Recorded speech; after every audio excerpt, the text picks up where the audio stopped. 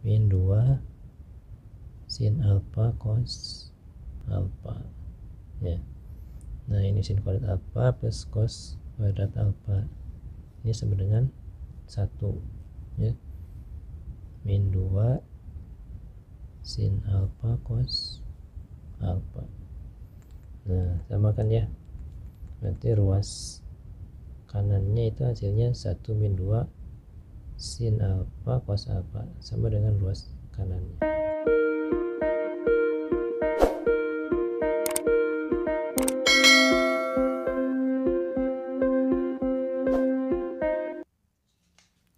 Assalamualaikum warahmatullahi wabarakatuh di video kali ini kita masih membahas tentang trigonometri dasar ya.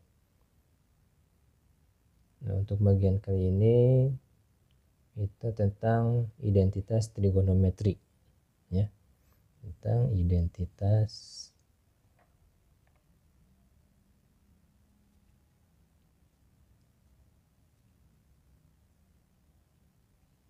nah ini. Tentang identitas trigonometri ya. Yaitu tentang pembuktian-pembuktian ya. Untuk soal-soalnya itu pembuktian-pembuktian dari trigono ya nah sebelum ke contoh soal contoh soal ya. Ada beberapa rumus yang harus dihafal ya. Ya oke di antaranya itu ada sin kuadrat alfa plus cos kuadrat alfa sama dengan satu. Nah ini ini yang pertama nah, bentuknya sin kuadrat alfa plus cos kuadrat alfa itu sama dengan satu. Nah ini bisa dibalik-balik ya. Ini kan satu.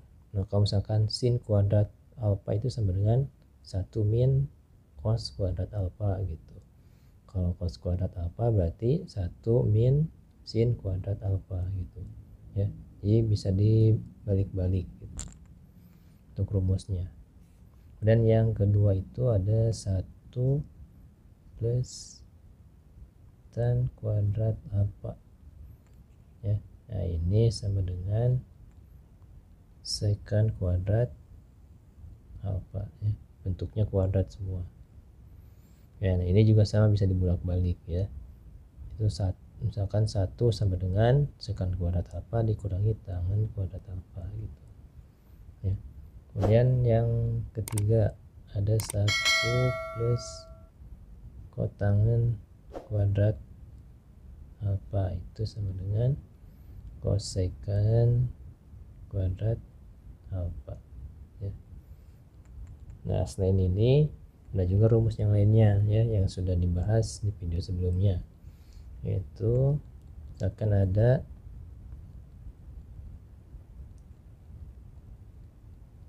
tangan alfa ya. Tangan itu dari sin alfa per cos alfa ya. Nah, kemudian ada lagi yang secant alfa itu satu per cos alfa ya. Dan cosec cosekan alfa itu sama dengan satu per sin alfa itu nah ini di antaranya. Kemudian ada juga rumus pemfaktoran ya yang harus dihafal itu ya. Dan juga rumus pemfaktoran.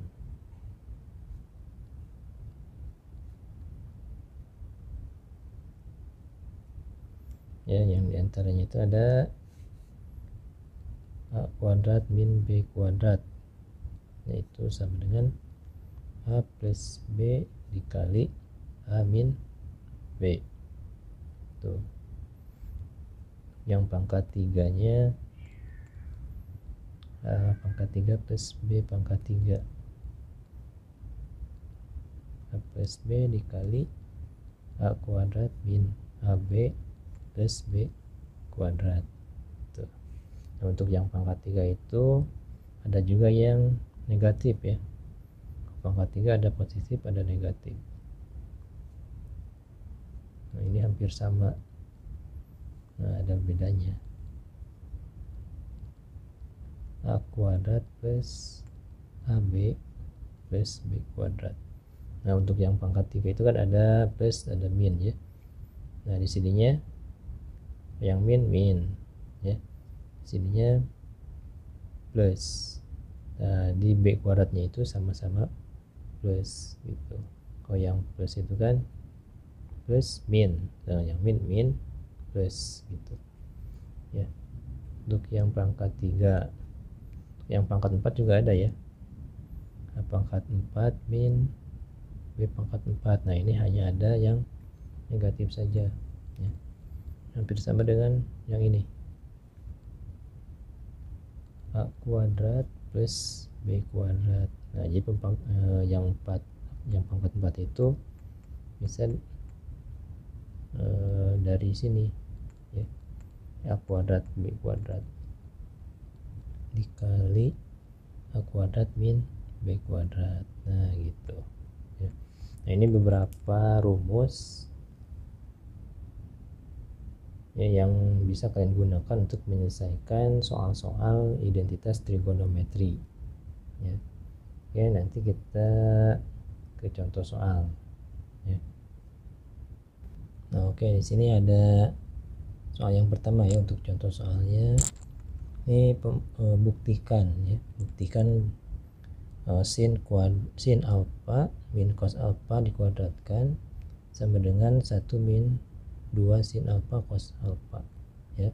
Jadi kita harus membuktikan bahwa sin alfa min cos alfa yang dikuadratkan itu sama dengan 1 min 2 sin alfa cos alfa nah untuk pembuktian ya biasanya buktikan itu dari, mulai dari yang ruas kiri ya.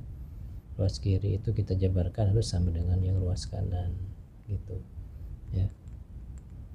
Oke untuk yang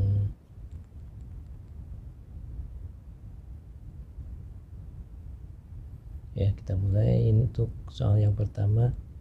Sin alfa min cos alfa ya. nah untuk ini sama dengan A min B dikuadratkan. Ya. Nah, penjabarannya mungkin ini ya untuk yang ini. Soal yang pertama itu. Ini sama dengan A min B kuadrat nah gitu ya. Kalau A min B berarti A kuadrat min 2AB plus B kuadrat gitu. Ya. Nah kalau sini berarti sin alpha itu A min cos alpha itu berarti B ya gitu. Berarti kalau menggunakan ini jadi sin kuadrat alpha ya kuadrat kuadrat min 2 AB. Ya berarti sin alpha cos alpha ditambah b kuadrat berarti cos kuadrat alfa ya. Oke. Nah di sini ada masuk ke rumus ya. Lihat sini. Sin kuadrat alfa plus cos kuadrat alfa ya. Sin kuadrat alfa plus cos kuadrat alfa itu nanti sama dengan satu ya. Min 2 sin alfa cos alfa ya. Nah ini sin kuadrat alfa plus cos kuadrat alfa. Ini sama dengan satu ya. Min 2 sin alfa cos alfa nah samakan ya?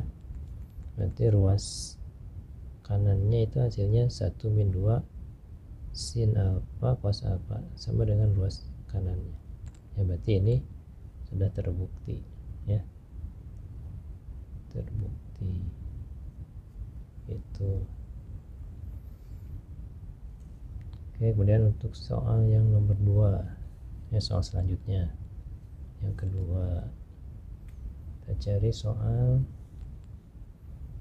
tentang alfa min kotangan alfa sama dengan 1 min 2 cos kuadrat alfa min per sin alfa cos alfa nah misalkan ada soal seperti ini ya. Untuk yang kedua. Oke sama seperti yang tadi ya. Mulainya dari ruas kiri. Ya. Kita coba untuk yang tangan alfa min tangan alfa ya. nah kita rubah bentuk tangan itu. Kan tadi yang di sini uh, yang kuadrat semuanya ya kuadrat nah yang ini yang pangkat satu tangan itu sama dengan sin per cos ya. Nah, kita rubah untuk tangan alfa itu berarti jadi sin alfa per cos alpha ya. Kemudian kotangan kotangan itu uh, kebaikan dari tangan ya. Berarti cos alpha per sin alpha ya kebalikannya nah jika ada penjumlahan atau pengurangan seperti ini pecahan ya bentuknya berarti kita harus menyamakan penyebutnya. Ya bawahnya ini kan cos ini sin beda ya. Sini kita harus menyamakan penyebutnya. Caranya kita tinggal kalikan saja ya penyebutnya cos kali sin. Sedangkan yang sisanya ini tinggal kali silang ya sin kali sin cos kali cos gitu. Ya berarti sin alfa kali sin alfa berarti sin kuadrat alfa ya kalikan silang. Cos kali cos ini tetap min ya. Cos kuadrat alfa per sin alfa cos alfa ya gitu. Nah kan di sini yang dimintanya itu cos ya yang dimintanya cos berarti kita ubah yang sin kuadrat itu ke dalam bentuk cos ya. sin kuadrat alfa berarti 1 min cos kuadrat alfa. Ya. Dikurangi cos kuadrat alfa. Ya. Ini kita rubah jadi 1 min cos sin alfa cos alfa. Gitu ya berarti hasilnya jadi satu cos kuadrat alfa min cos kuadrat alfa berarti jadi dua. Ya min 2 cos kuadrat alfa per sin alfa cos alfa oke ya. Sama ya luas kirinya sama dengan luas kanan. Oke nah yang ini juga terbukti. Ya oke nah oke kita lanjut ke soal berikutnya ya. Soal nomor 3 sini ada 4 cos kuadrat alfa min 2 sin kuadrat alfa sama dengan 6 cos kuadrat alfa min 2 ya.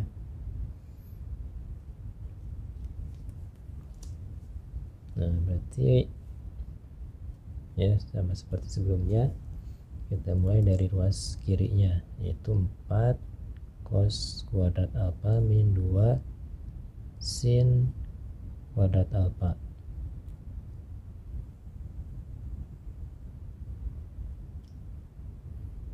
oke.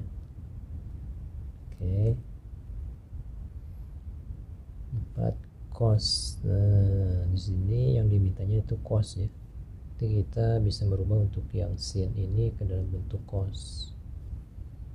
4 cos kuadrat alfa min 2 nah sin kuadrat alfa itu kan sama dengan 1 min cos kuadrat alfa. Ya. Itu kan? Untuk sin ini. Nah, sin kita rubah ke dalam bentuk 1 min cos kuadrat alfa ya. Berarti 4 cos kuadrat alfa ya. kita kalikan min 2 kali 1 tetap min 2 min 2 kali min cos kuadrat alfa berarti plus ya 2 cos kuadrat alfa 4 cos kuadrat alfa ditambah 2 cos kuadrat alfa berarti 6 cos kuadrat alfa min 2 sisanya ya berarti sama ya ruas kirinya sama dengan ruas kanan ini terbukti. Oke. Nah kita lanjut ke soal berikutnya. Ya soal nomor 4 berarti ya. Contoh soal nomor 4 misalkan ada soalnya 1 plus sin alpha per cos alpha ditambah cos alpha per 1 plus sin alpha sama dengan 2 secant alpha nah ini. Soal yang keempat. Ini contoh soal yang keempat ini ya. Oke berarti langsung saja ya. 1 plus sin alpha per cos alpha ditambah cos alpha per 1 plus sin alpha. Ya. Nah seperti tadi jika ada bentuk pecahan ya penjumlahan pecahan kita samakan dulu penyebutnya ya. Nanti nanti penyebutnya jadi cos alpha dikali 1 plus sin alpha ya. Nah ini tinggal kali silang. 1 plus 1 plus sin alpha dikali 1 plus sin alpha berarti itu ya. Tinggal kuadratkan berarti ya. Sama kan ya 1 plus sin alpha dikali 1 plus sin alpha ditambah cos kuadrat alpha ya cos kali cos nah berarti ini cos alpha dikali 1 plus sin alpha. Gitu. Ya. Nah ini pakai rumus yang tadi yang a min b. Ya kalau ini berarti a plus b. Ya. Berarti ini a plus b kuadrat gitu. Ya. Oke yang ini. Berarti a kuadrat plus 2ab plus B kuadrat gitu. Ya. A nya 1 B nya sin alpha. Berarti 1 ya 1 dikuadratkan kan tetap 1 ya. Ditambah berarti ya 2AB 2 kali 1 kan 2 ya. Dikali ini kali sin berarti 2 sin alpha sin kuadrat berarti kan ya ditambah sin kuadrat alpha cos kuadrat alpha per cos alpha 1 plus sin alpha gitu. Ya yang bawahnya kita biarkan saja tetap seperti itu dulu ya kemudian ini 1 plus nah 1 plus 2 sin alpha nah sin kuadrat alpha plus cos kuadrat alpha itu sama dengan satu ya. Itu cos alpha satu plus sin alpha. Satu ditambah satu berarti jadi dua ditambah dua sin alpha ya. Ini cos alpha satu plus sin alpha gitu.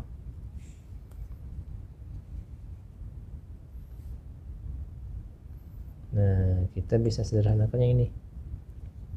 Ya 2 plus 2 sin alpha berarti jadi 2 saat dikali 1 plus sin alpha. Nah gitu kan ya? 2 kali 1 2 2 kali sin alpha berarti 2 sin alpha gitu kan? Yang ini berarti jadi cos alpha 1 plus sin alpha. Ya nah ini kan sama ya. 1 plus sin alpha 1 plus sin alpha. Jadi bisa kita coret yang ini ya sisanya 2 per cos alpha. Ya cos itu kan apa? Cos itu eh, satu per cos ini kan ya cos 2 per cos. 2 per cos. 2 per cos itu kan sama dengan 2 dikali 1 per cos alpha ya. 1 per cos alpha itu sama dengan sekan ya sekan alpha. Berarti ini jadi 2 sekan alpha. Itu ya. Nah ini ruas kanannya. 2 sekan alpha. Ini hasil dari penjabaran ruas kanan. Hasilnya eh, ruas kiri ya tadi ya. Hasilnya 2 sekan alpha. Berarti sama ya ruas kirinya sama dengan ruas kanan. Ini terbukti juga. Oke itu ada 4 ya. 4 soal 4 contoh soal. Oke satu lagi ya. Satu lagi saja ya. 5 contoh soal cukup ya. Misalkan di sini ada sin pangkat 4 alfa min cos pangkat 4 alfa sama dengan 1 min 2 cos kuadrat alfa ya. Nah yang tadi ini yang pemfaktoran. A pangkat 4 min B pangkat 4 ya. Nah, untuk A pangkat 4 min B pangkat 4 itu kan tadi eh, sama dengan nah yang ini yang tadi. Nah ini. A kuadrat plus b kuadrat dikali a kuadrat min b kuadrat. Nah kita ubah ke sini ya a pangkat 4 min b pangkat 4 berarti kita ubah sini ya. A nya itu kan ini sin. Pangkat 4 b nya cos pangkat 4 berarti jadi sin kuadrat alfa ditambah cos kuadrat apa ya. Oh kita tulis lagi ya ini ya jangan lupa sini. Nanti sin pangkat 4 alfa min cos pangkat 4 alfa itu sama dengan sin kuadrat alfa plus cos kuadrat alfa dikali sin kuadrat alfa min cos kuadrat apa. Nah gitu. Ya. Kita mulai dari sini untuk sin kuadrat alfa ditambah cos kuadrat alfa itu sama dengan satu ya. Berarti sisanya ini sin kuadrat alfa min cos kuadrat alfa ya. Satu dikalikan ini berarti tetap hasilnya sin kuadrat alfa min cos kuadrat alfa berarti yang harus kita buktikan berarti yang ini nih. Sin kuadrat alfa min cos kuadrat alfa ya? Nah ini harus kita buktikan menjadi bentuk 1 min 2 cos kuadrat alfa nah di sini yang diminta itu cos ya. Bentuknya cos. Nah sedangkan di sini ada sin. Ini ada sin dan cos juga. Berarti sin ini harus kita rubah bentuknya ke dalam bentuk cos. Ya sin kuadrat alfa itu berarti jadi 1 min cos kuadrat alfa ya yang ini. Sin kuadrat alfa itu sama dengan 1 min cos kuadrat alfa dikurangi cos kuadrat alfa juga ya. Berarti ini hasilnya 1 min cos kuadrat alfa dikurangi cos kuadrat alfa berarti jadi min 2 cos kuadrat alfa ya. Sudah terbukti ya itu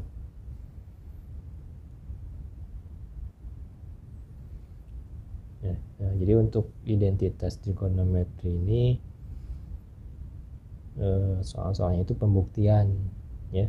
Jadi bagaimana kita merubah bentuk soal ya dalam bentuk yang dimintanya gitu ya.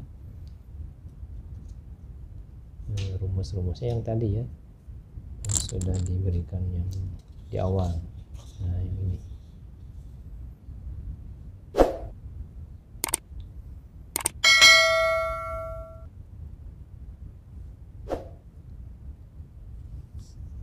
oke eh, untuk video kali ini cukup sampai di sini semoga bermanfaat ya Oke, terima kasih. Wassalamualaikum warahmatullahi wabarakatuh.